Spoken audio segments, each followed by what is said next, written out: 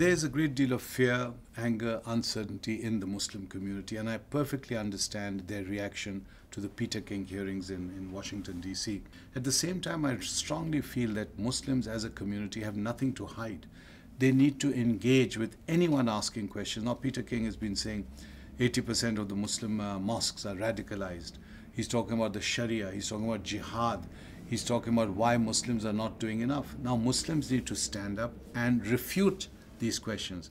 Because if they simply huff and puff and make a noise and be angry, they're not going to convince Americans. It's critical for Americans to balance their respect for religious pluralism.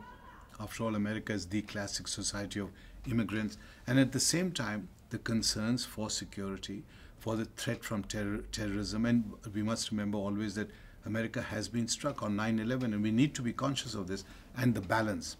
I believe, as far as the Muslim community is concerned, Americans and Muslims need to reach out to each other.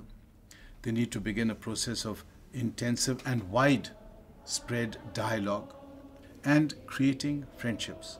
Because ultimately, each immigrant group, whether originally Italian or Spanish or from whatever part of the world in the 19th century and 20th century, eventually had to go through a process of slow integration. And then there comes a point when that community is fully American.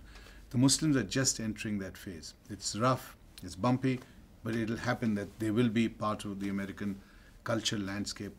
And I think ultimately we must remember the great notions of justice, of compassion, of knowledge and learning that make America America.